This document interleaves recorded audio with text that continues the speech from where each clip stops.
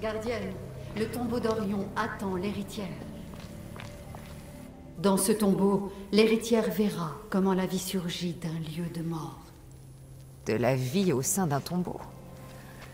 Si je n'avais pas vu le bâton à l'œuvre, je n'y croirais pas. La tâche de l'héritière est d'apporter la vie là où règne la mort. Et la tienne t'impose d'endurer les pertes. Ferme les yeux et imagine le visage de quelqu'un que tu ne verras plus jamais. Que lui dirais-tu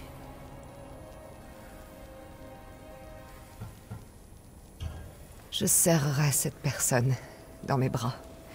Et je lui dirai d'être forte et que nous nous retrouverons. Rappelle-toi cette réponse et quelle souffrance l'a provoquée. Tu n'as pas à me le dire, Aletheia. Je me souviendrai toujours. Et je garderai toujours.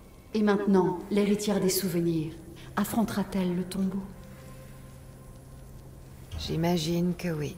Altaïr 2, répondez. Ici Altaïr 2. Le prochain arrêt, c'est le tombeau d'Orion.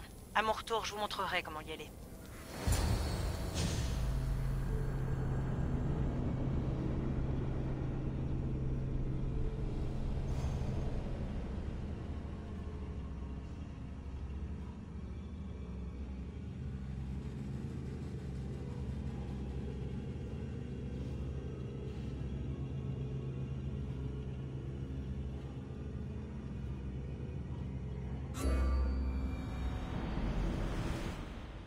Altair 2 J'ai réussi à entrer.